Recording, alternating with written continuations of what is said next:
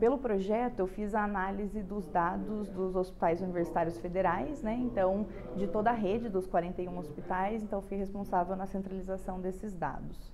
A, o hospital da, das clínicas da UFG, ele é, é gerenciado pelo EBSER, mas há outros hospitais que também participaram da pesquisa e foi essa minha inserção. Nós tivemos um número expressivo de pacientes para fazer análise e isso só reforça, né, junto com outros hospitais, mas dentro da, da rede de hospitais universitários, o poder que nós temos na análise de dados em saúde, é, com essa potência de ter uma amostra muito grande e isso consolidando os dados, tanto contribuindo com a plataforma global da OMS, quanto para nós pensarmos as políticas do SUS, né, para o melhoramento da saúde no país. Eu sou professora na Faculdade de Enfermagem, uhum. nós temos é, muitas ações no Hospital das Clínicas, né?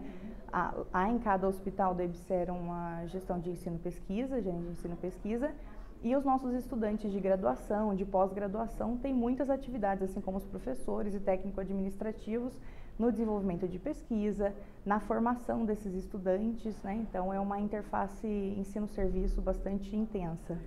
Nós tivemos um engajamento de vários pesquisadores num trabalho bastante é, intensificado pelo projeto e foi possível olhar para os desafios e para as lições aprendidas com a Covid e a nossa organização em rede, tanto dos pesquisadores quanto dos profissionais de saúde que atuam nessas instituições. Nós temos que avançar muito ainda é, na interface do uso da tecnologia a favor da saúde.